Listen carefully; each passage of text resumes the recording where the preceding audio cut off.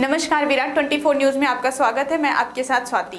छिंदवाड़ा शहर के विवेकानंद कॉलोनी में आज एक हैरान कर देने वाला वाक्य सामने आया है। जहाँ पारिवारिक विवाद के चलते एक शख्स ने फांसी लगाकर अपनी जान दे दी। अस्पताल में जैसे ही उसकी पत्नी को इसकी जानकारी लगी तो वो भागते हुए घर पहुँची, तथा उसने भी फंदे पर लटक कर सुसाइड करने की कोशिश की, लेकिन समय रहते पड़ोसी की मदद से पुलिस ने उसे फंदे से उतार कर अस्पताल पहुँचाया, जहाँ महिला का उपचार जारी है। सोमवार को विवेकानंद कॉलोनी में रहने वाले राम गोपाल नामक युवक ने पारिवारिक कारणों से अपने घर के एक कमरे में फंदा बनाकर फांसी पर झूल गया, जिसे तत्काल उसकी पत्नी अन्य लोगों की मदद से अस्पताल लेकर आई, जहाँ राम गोपाल ने उपचार के दौरान दम तोड़ दिया। पति की मौत की खबर लगते ही उसकी पत्नी गायत्री भी वापस घर पहुँची और उसने भी अपने कमरे में फंदा लगाकर आत्महत्या का प्रयास करने लगी। तभी आसपास के लोगों ने इस घटना को देखा और तत्काल पुलिस को सूचना दी।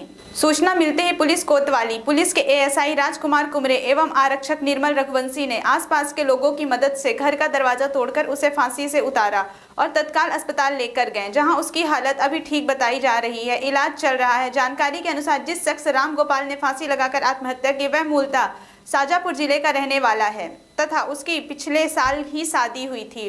वह अपनी पत्नी के साथ कॉलोनी, वह अपनी पत्नी के साथ कॉलोनी में किराए के मकान में रह रहा था। युवक एक मेडिकल शॉप में काम करता था।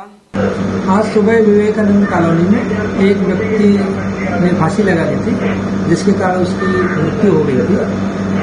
उसके फांसी लगाने के कारण जो है, उसकी पत्नी भी आत्महत्या करने की कोशिश की। पहले उसने अपनी राड पकड़ी जिसके कारण उसकी मृत्यु नहीं हुई पश्चात उसने दरवाज़ा बंद करके अंदर जाके फांसी के पंडे में झूल गई थी। पुलिस को तत्काल सूचना मिली और पुलिस मौके पर पहुँची।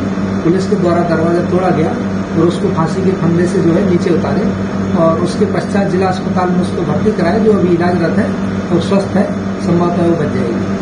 सर कोई कारण पता चला पति पत्नी प्रथम दृष्टि इसमें पारिवारिक कारण सामने आ रहा है। बाकी अन्य जो कारण है और जो भी जाँच के बाद ही पता चलेगा कि किस कारण से जो है ये घटनाक्रम हुआ राजवाटिका, विवाह घर। सर्व सुविधा युक्त, प्राकृतिक सुंदरता से ओत प्रोत।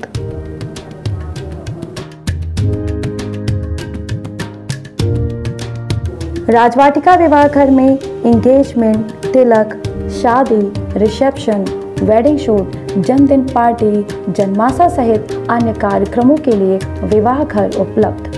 अपने मांगलिक कार्यक्रमों को यादगार बनाएँ शहर के मध्य वातानुकूलित राजवाटिका मैरिज गार्डन के साथ। हमारा पता है, Rajwatika marriage garden, national highway जूला मोड़, भुंडहा, रीवा। अधिक जानकारी के लिए संपर्क करें nine eight two seven zero zero four two five one.